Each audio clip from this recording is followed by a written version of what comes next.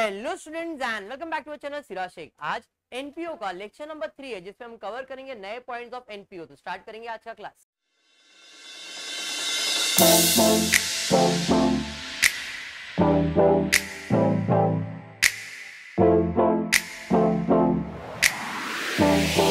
चलिए, पिछले लेक्चर के अंदर मैंने एनपीओ स्टार्ट किया था.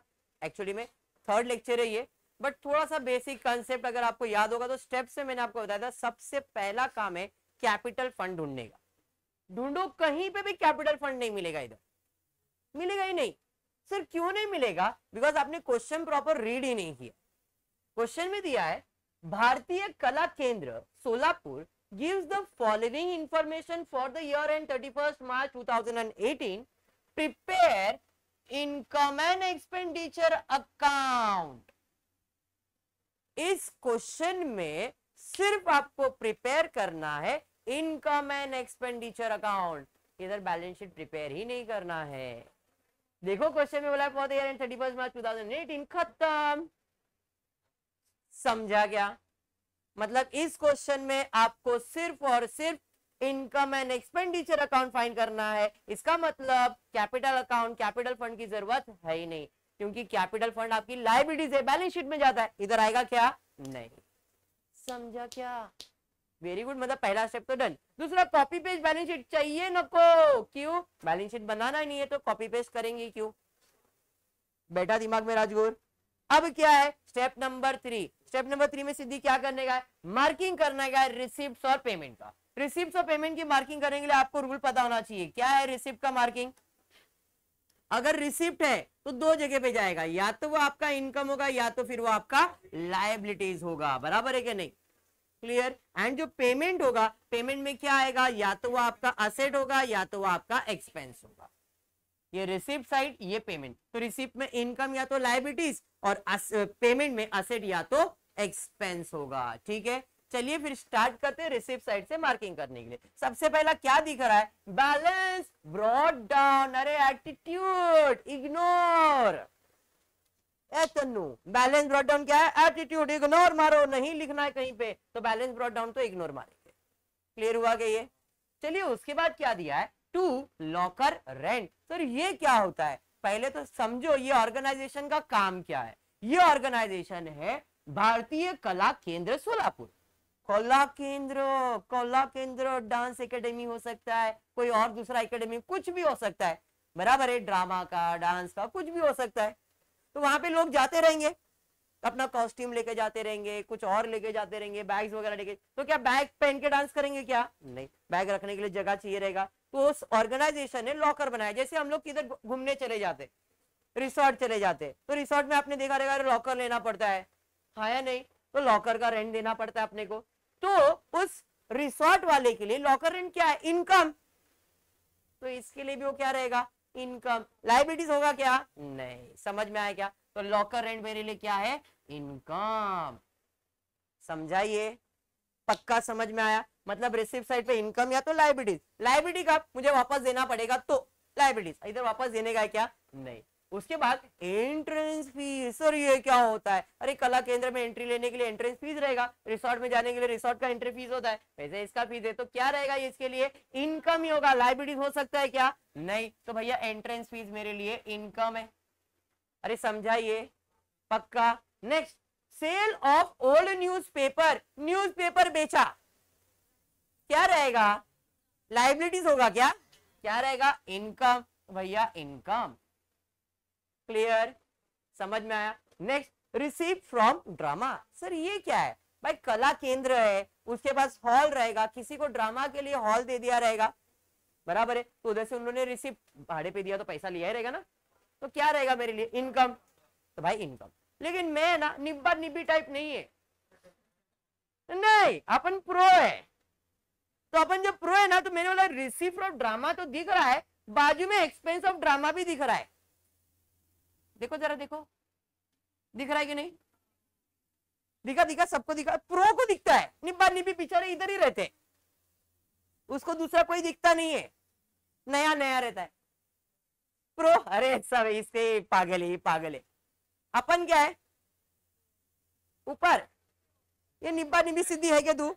अपन प्रो पहुँच गए बराबर है। इसका मतलब क्या है कि भाई रिसिप्ट ऑफ़ ड्रामा और एक्सपेंस ऑफ़ ड्रामा टुगेदर पैसा भी आ रहा है, पैसा जा भी रहा है, क्योंकि दोनों सिमिलर नेचर वाले हैं। तो हम लोग इसको क्या करेंगे सैयद साथ में सॉल्व करेंगे। क्यों ऐसा? और एक बाजू से आ भी रहा है, एक बाजू जा भी रहा है। मैंने भाड़े के लिए हॉल दे दिया। भाड़े के लिए ड्रामा करने का हॉल दिया। तो सर डेकोरेशन अच्छा ठीक है डेकोरेशन भी कर दिया डेकोरेशन का खर्चा कर दिया। बोला, भाई, दस हज़ार भाड़ा आएगा। दो हज़ार का खर्चा कर दिया। तो मुझे इनकम कितना हुआ? आठ हज़ार? आया नहीं। किसके लिए? एक ही चीज़ के लिए ना? तो रिसिप्ट ऑफ़ ड्रामा ड्रामा वाले से कितना पैसा लिया? नौ हज़ार. खर्चा कितना किया? तीन हज़ार. यहाँ पे इनकम कितना हुआ? छह हज़ार. तो यहाँ पे नौ हज़ार नहीं दिखाएँगे या तीन हज़ार नहीं दिखाएँगे. डायरेक्टली कितना दिखाएँगे? छह हज़ार. सर नहीं, मेरे को अगर ऐसा ही डायरेक्टली दिखना है तो आप इनकम भी दिखा सकते हो. आपको दिखाना तो ये इनकम आपको दिखाने का तो ये एक्सपेंस दिखा दो, कोई प्रॉब्लम नहीं. लेकिन एग्जामिनर आपको लगे निब्बा निब्बी लोग. प्रो नहीं है लोग. समझ में आया? प्रो बनने का तो भाई साथ में सॉल्व करके दिखाएँगे। क्लियर हुआ? पक्का? हाँ या नहीं? चलो डेफिनेटली फिर यहाँ तक तो क्लियर ठीक है। तो यहाँ पे रिसिप्ट ऑफ़ ड्रामा इनकम लिख रहा हूँ बट आपको साथ में सॉल्व करना है। कैसे? नौ हज़ार और तीन हज़ार जब मैं प्रेजेंट करूँगा, तब एक्सप्लेन आगे बढ़ते लीगसीज क्या ये? नहीं, सुबह के ब्रांच में ऐसा हुआ? सर लेगिंग्स मैंने नहीं बाबा लीगसीज है। पढ़ने में ऐसा होता है कभी कभी स्टूडेंट है बेचारे, क्या कर सकते हैं? ये क्या है? लीगसीज सर, ये क्या होता है लीगसीज तो हमारे इधर एक डोरेमोन था, सर, वो पहनते ना गज मेरा लीगसीज का मतलब होता है लीगसीज का मतलब भाई, मैंने सोचा कि इतना क्लास बना दिया है। मेरे मनने के बाद क्या? एक काम हूँ जिनल, तेरे नाम क्लास करके जाता मुझे कुछ हुआ? अरे तेरे को मिल जाएगा। मैं खुशी से तेरे को दे रहा हूँ। खुशी से विल से। आप कोई भी चीज़ डोनेट करना चाहोगे, मैं, मेरा आग किसी को डोनेट कर देना। बराबर है? तो जिसको आग मिलेगा वो तो खुशी होएगा ना? उसके लिए तो वो इनकम ही होगा। हाँ या नहीं? तो इधर मुझे अगर लीगसीस मिल रहा है मतलब कोई दान धर्म करके गया मेरे लिए, और जो मेरे लिए दान धर्म करके लिया, मेरे लिए क्या है वो? इनकम दान धर्म सिंपल लैंग्वेज लीगसीस समझा क्या? पक्का? क्या होता है लीगसीस दान धर्म क्या होता है? दान धर्म किसी को भी किसी का भी दे देने का। ध्यान देने का यहाँ पे। लीगसीज क्या है? इनकम पढ़ेंगे आगे।